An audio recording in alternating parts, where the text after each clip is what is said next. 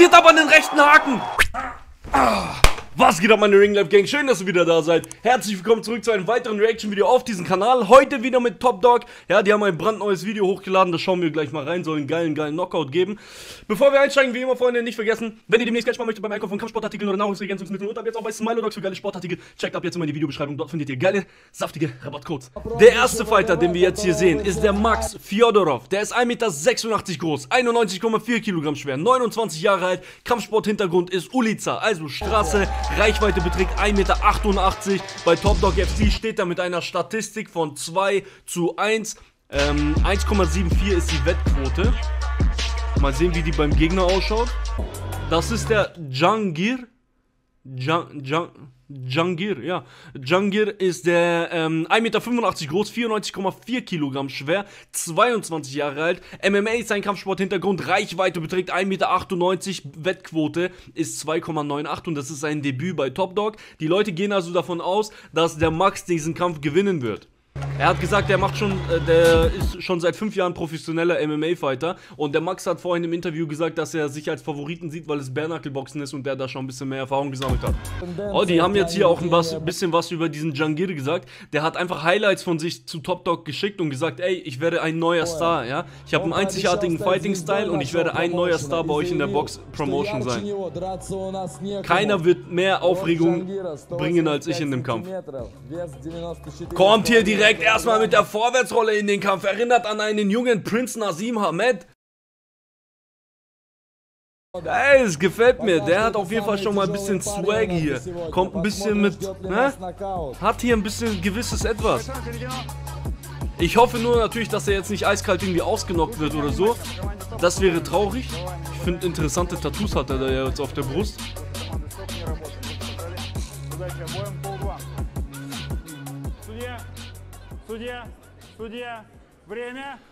So, die erste Runde beginnt, Freunde. Platziert eure Wetten. Gewinnt auf der linken Seite Jangir oder gewinnt auf der rechten Seite Max.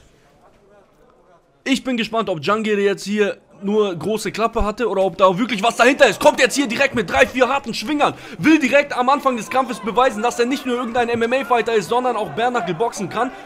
Ja, technisch war das noch nicht allzu sauber. Der hat die Arme einfach nur durchgeschwungen. Erinnert ein bisschen an unseren Bazooka-Russen.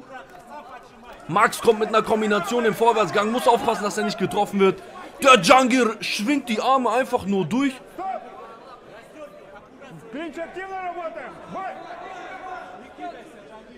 Der musste, ja, wilder Fighting-Style auf jeden Fall. Er hat, er hat gesagt, dass er hier Eindruck machen möchte. Kassiert einen guten Treffer von Max. Wackelt. Die Beine waren kurz weg. Boah, da hat er sich eine gute Bombe gefangen. Wartet, wartet, wartet. Das will ich nochmal sehen. Bam, hier im Vorwärtsgang. Kassiert einen Overhand rechts direkt als Konter.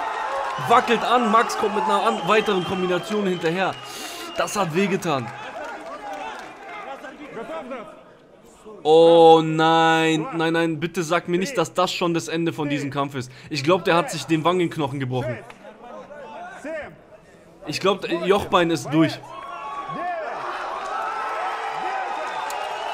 Ah, mein Gott, ist das bitter. Ich habe ja gesehen, dass der Kampf nur 10 Minuten geht, aber ich hatte mir wirklich erhofft, dass es länger als 60 Sekunden lang gehen würde. Ah, nein, bitte. Das ist, das ist bitter, Mann. Den würde ich auch äh, gerne mal kämpfen sehen. Ich habe ihn damals den russischen Conor McGregor äh, genannt, ja. Den würde ich auch gerne endlich mal wieder kämpfen sehen. Lass mal kurz nochmal die Highlights anschauen.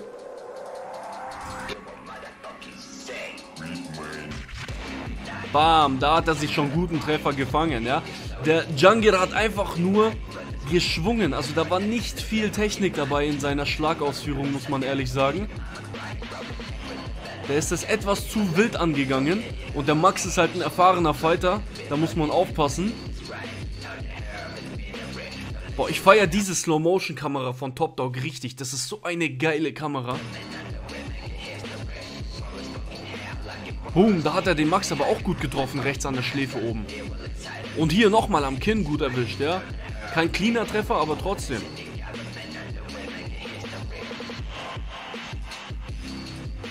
Wo ist dieser Treffer an das Jochbein?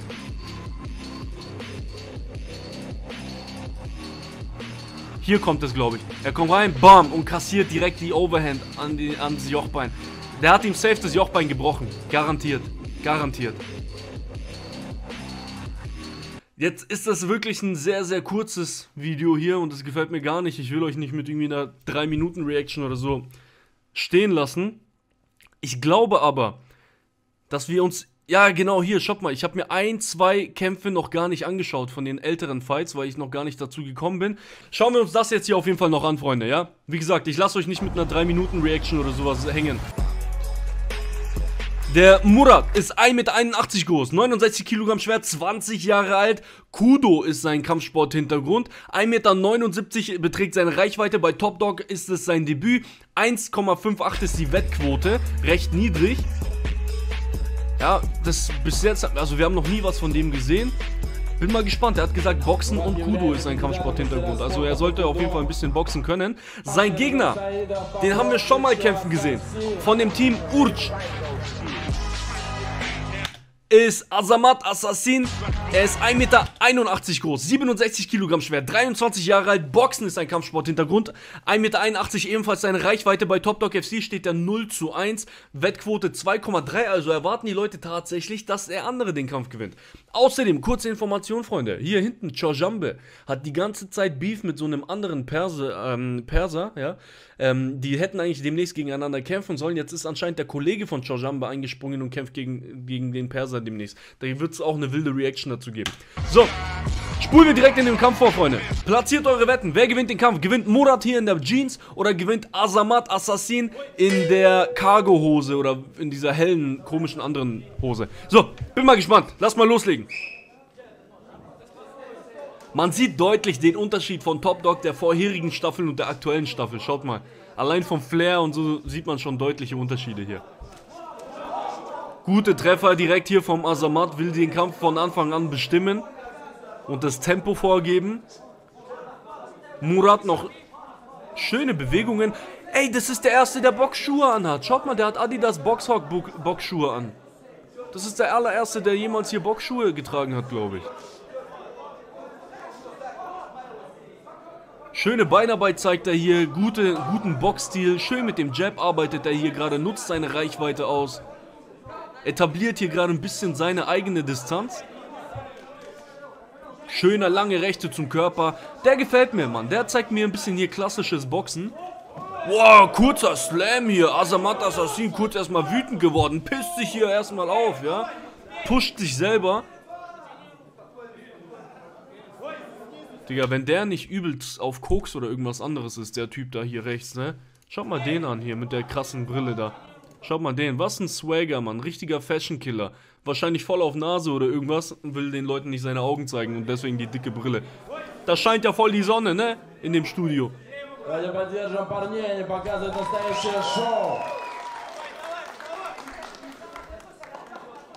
Ja, noch recht zurückhaltend jetzt hier beide an dieser Stelle. Beide warten ein bisschen auf ihre Gelegenheit. Murat versucht weiterhin mit dem Jab die Distanz zu etablieren. Azamat wechselt hier gerade die Auslage, kommt mit einer 1-2 hinterher, verfehlt aber. Regt sich hier ein bisschen auf. Da war wohl der eine oder andere Hinterkopfschlag mit dabei. Das eine Mädel bangt schon irgendwie, die, also die ist schon voll am Zittern. Ich weiß nicht wieso, da ist noch gar nichts Wildes passiert. Also ich persönlich favorisiere jetzt hier gerade den, den Murat. Mir gefällt er besser vom Boxstil her. Ich würde mir nur jetzt mal wünschen, dass die beiden etwas mehr Gas geben. Murat kommt direkt jetzt hier in den letzten 10 Sekunden mit einer Aktion vorwärts. Azamat versucht auch nochmal seine Treffer zu landen, um abschließend in dieser Runde ein paar Punkte zu sichern. Beide umarmen sich jetzt hier nochmal am Ende der Runde. Ja, respektvoll. Respektvoller Umgang miteinander. Kurzer Kampfschrei hier von Murat. Aber ich finde, in dieser Runde waren nicht allzu viele Highlights dabei, deswegen spulen wir direkt vor und schauen uns an, was die zweite Runde bringt. So, zweite Runde beginnt, ja. Recht ausgeglichene erste Runde. Ich würde vielleicht ganz kleine Vorteile bei Murat sehen in der ersten Runde. Mal sehen, wie die zweite Runde sich entwickelt. Schöne, kurze Rechte direkt an die Schläfe von Assassin, von Murat, ja. Hat er ihn mit einem Jab vorbereitet und dann die rechte kurze reingebracht, die gerade. Man sieht definitiv, technisch ist Murat viel, viel besser als ähm,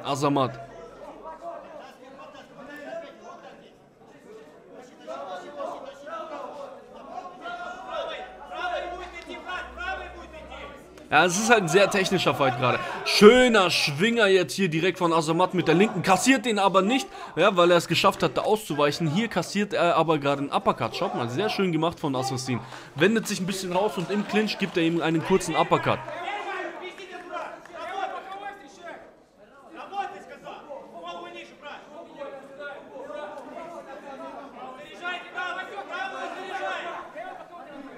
Zu viele Pausen dazwischen. Ja, für meinen Geschmack einfach zu viele Pausen zwischen den Aktionen. Da muss ein bisschen mehr Tempo sein.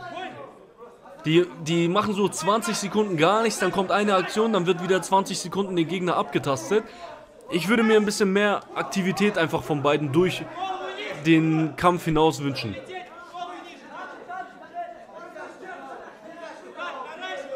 Eieiei, warte mal, habt ihr das gerade gesehen? Dieses Kameramovement hier hinten, schaut mal. Der Kollege sitzt einfach schon so auf so einem... Der fährt ihn da rum auf der Kamera. Man sieht, Top Dog geht in eine extrem professionelle Richtung, Mann. Das ist halt das... Viele sagen immer, boah, du, du stehst nur auf diese Schlägereien und nur auf diese Schwinger, ja, du gibst, legst keinen Wert auf Technik. Ich lege sehr wohl Wert auf Technik. Aber man sieht, wenn ein Kampf zu technisch wird, wird es für das Auge einfach wieder nicht mehr so interessant, weil beide einfach ein bisschen zu sehr abwägen, versuchen ihre Lücken und sowas zu finden. Es, ich, es ist fürs Auge einfach interessanter, wenn beide durchschwingen und versuchen, sich den Kiefer zu brechen. Ja, das ist halt das, was ich mehr feiere. Auch in dieser Runde keine großen Aktionen dabei gewesen, die es wert sind, irgendwie was hervorzuheben. Deswegen spulen wir auch hier vor und schauen uns direkt die dritte Runde an.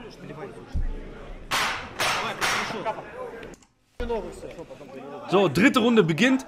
Zweite Runde auch wieder recht ausgeglichen gewesen. Derjenige, der die dritte Runde jetzt komplett dominiert, wird der Sieger von dem Kampf höchstwahrscheinlich sein. Asamat am Anfang der Runde direkt mit zwei, drei harten Treffern. Im Clinch versuchen beide jetzt noch ein paar Körpertreffer zu bringen, war aber recht unsauber. Der Referee stoppt das Ganze.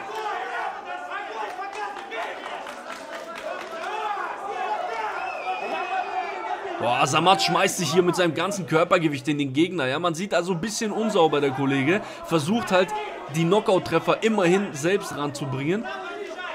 Während hingegen sein Gegner Murat sehr technisch bleibt, versucht er halt etwas ein bisschen den Kampf und rauszubringen. Kassiert aber den rechten Haken. Asamat mit dem Überraschungstreffer jetzt hier. Pow! Endlich mal ein saftiger Treffer. Kurzen Uppercut und dann rechte. Perfekt ans Kinn. Was ein geiler Treffer. Da ist der Murat mal kurz zusammengeklappt, scheint aber hier fit zu sein. Ja, es äh, war ein kurzer Lichtschalter, der bei ihm umgelegt wurde. Er ist aber wieder fit, seine Beine sind auf jeden Fall da.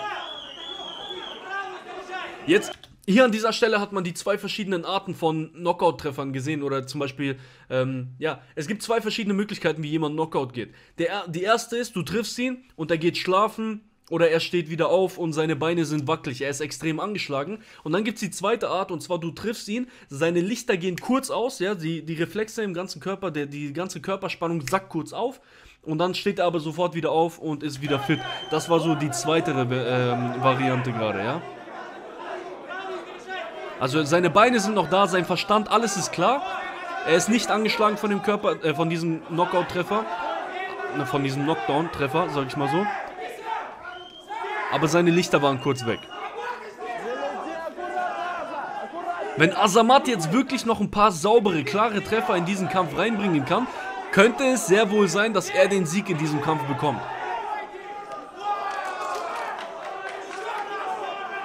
...30 Sekunden verbleiben. Mal sehen, ob Azamat... Azamat geht nochmal mit einem linken Haken rein. Trifft ihn erneut am Kinn. Das war jetzt aber ein leichter Knockdown eigentlich, würde ich behaupten. Murat kommt zurück, versucht ihn im Clinch nochmal zu treffen. Beide rangeln ein bisschen miteinander rum. 20 Sekunden verbleiben jetzt hier in dieser letzten Runde. Chojambe selbst kurz davor in den Ring zu springen. Komm, wer macht die letzten 10 Sekunden? Das ist jetzt nochmal richtig spannend geworden am Ende des Kampfes. Nicht miteinander clinchen. Harte Treffer noch. Komm, harte Treffer noch. Asamat schwingt nochmal durch. Kampf ist vorbei. Chojambe springt rein, hebt seinen Teamkollegen hoch. Der andere denkt sich, hey, das kann ich auch. Ich heb ihn auch mal hoch. Dreht ihn jetzt hier in der Pirouette, wie bei Dirty Dancing. Kurze Dance-Moves jetzt hier. Bisschen Dreck von der Schulter von Azamat. Ja, zeigt dir erstmal ein paar Swagged-Out-Moves. Ja, schwierig. Wer hat diesen Kampf jetzt gewonnen? Wer hat diesen Kampf jetzt gewonnen? Wir müssen uns auf jeden Fall die Highlights von dieser Runde anschauen. Da waren sehr, sehr gute Sachen dabei. Die müssen wir definitiv sehen, um bestimmen zu können, wer wirklich den Kampf gewonnen hat.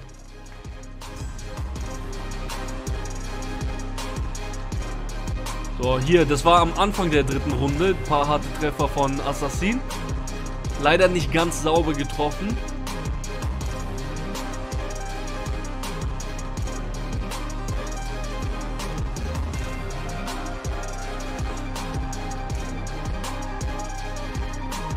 Hier. Ah, wo, wo kommt dieser Treffer? Ich warte nur auf diesen einen rechten Haken, den er da gelandet hat.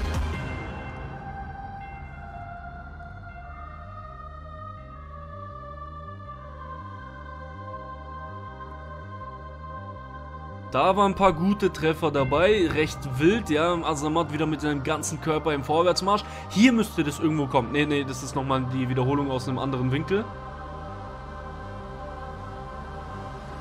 Wo bleibt der Treffer?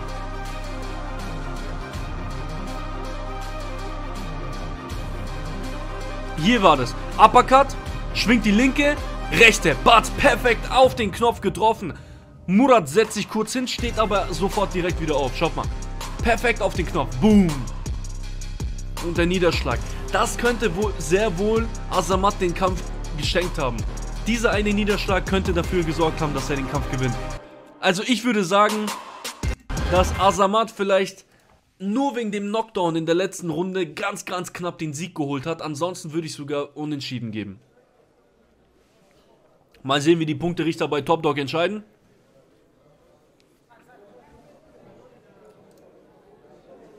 В этом зрелищном и красочном бою победу раздельным решением судей забрал... Euer Sieger, Split Decision, also nicht einstimmig. Azamat Assassin Mirzaidov. Mirza Saidov. Ja, äh, ich sag's euch, er hat den Kampf gewonnen wegen dem Knockdown in der dritten Runde. Da hat er ihn nochmal buff mit der rechten ans Kinn getroffen und ihn runtergesagt. Das ist der einzige Grund, warum er den Kampf gewonnen hat. Ansonsten wäre es höchstwahrscheinlich ein Unentschieden geworden. Aber war ein guter Kampf, jetzt am Ende noch hin. Ja, Azamat hat den Kampf mit diesem Knockdown wirklich noch gerettet in der dritten Runde. Ich drücke auf jeden Fall den Daumen hoch. Das war's heute schon mit der Top Dog Reaction. War heute ein bisschen anders als sonst. Ja, ich hoffe, dass die nächste Reaction wieder eine richtig saftige äh, Reaction mit einem harten Kampf wird. Ich hoffe nichtsdestotrotz, dass euch das Video gefallen hat. Wenn es euch gefallen hat, nicht vergessen, Daumen hoch drücken, Kanal abonnieren, Kommentar hinterlassen für den Support, wenn ihr mich supporten möchtet. Wenn nicht, ist das natürlich auch nicht so schlimm.